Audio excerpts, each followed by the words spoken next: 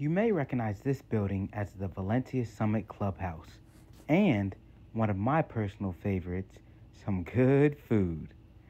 But the reason for gathering today wasn't just to enjoy the venue and refreshments, but the JCI organization of Santa Clarita held their awards here in late February. JCI is an organization that focuses on empowering young leaders in Santa Clarita and motivating them to make a change in their community.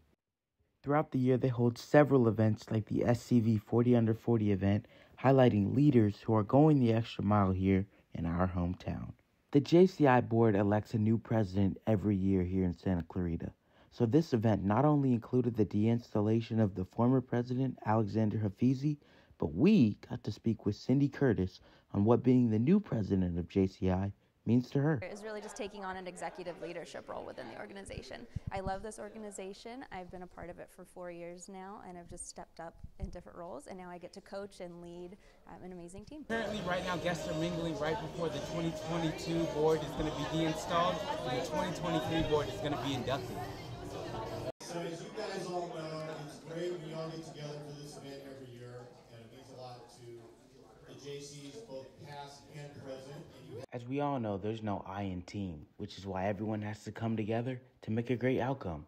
Each person on our board is so well suited for their position that I'm really excited to see everything and all their excitement that they're going to bring this year to our members.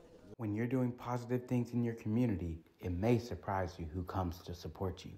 Mayor Gibbs and his wife made sure to come out and show their love and support.